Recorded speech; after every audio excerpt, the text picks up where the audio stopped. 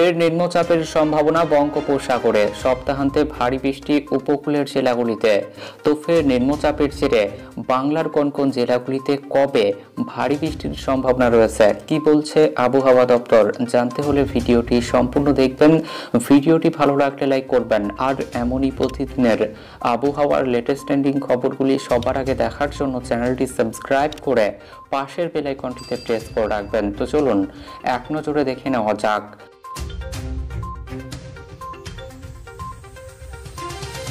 নিম্নচাপের জেরে সপ্তাহান্তে বাড়বে বৃষ্টি উপকূলের জেলাগুলিতে।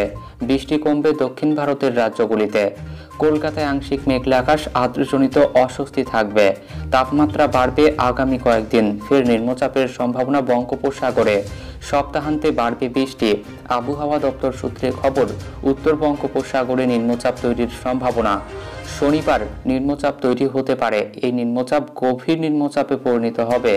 বাংলা এবং উড়িষ্যা উপকূলের দিকে আসবে এই নিম্নচাপ।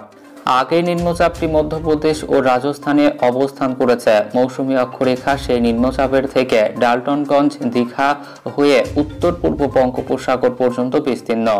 দক্ষিণবঙ্গে আগামী দুদিন ভারী বৃষ্টির সম্ভাবনা নেই। আংশিক মেঘলা আকাশ, বজ্রগর্ভ মেঘ থেকে হালকা বৃষ্টির সামান্য সম্ভাবনা রয়েছে। রবিবার থেকে আবহাওয়ার পরিবর্তন হবে, বৃষ্টি বাড়বে। রবিবার রাত থেকে ভারী বৃষ্টির সম্ভাবনা উপকূলের জেলাগুলিতে। পূর্ব মেদিনীপুর, পশ্চিম মেদিনীপুর, ঝাড়গ্রামে ভারী বৃষ্টির সম্ভাবনা রয়েছে। উত্তরবঙ্গে স্থানীয় বজ্রগর্ভ মেঘ থেকে হালকা মাঝারি বৃষ্টির সম্ভাবনা রয়েছে। আগামী কয়েকদিন ভারী বৃষ্টির সম্ভাবনা নেই উত্তরবঙ্গের জেলাগুলিতে। তাপমাত্রা বাড়বে, সঙ্গে জলীয় বাষ্প বেশি থাকাই আর্দ্রজনিত অস্বস্তি থাকবে। হাওয়া অফিসের তরফে বলা হয়েছে, গুজরাটে ভারী বৃষ্টির সম্ভাবনা। বৃষ্টি কমবে দক্ষিণ ভারতের রাজ্যগুলিতে। আগামী সোমবার পর্যন্ত ভারী বৃষ্টির পূর্বাভাস কঙ্কন, গোয়া, গুজরাট, কর্ণাটক ও মহারাষ্ট্রে। আলিপুর আবহাওয়া দপ্তর সূত্রে খবর, শুক্রবার শহরের সর্বোচ্চ তাপমাত্রা চৌত্রিশ ডিগ্রি সেলসিয়াস, যা স্বাভাবিকের থেকে এক ডিগ্রি ওপরে। সর্বনিম্ন তাপমাত্রা ছাব্বিশ ডিগ্রি সেলসিয়াস।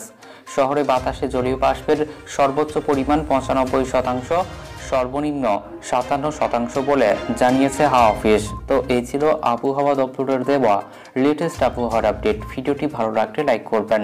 ধন্যবাদ।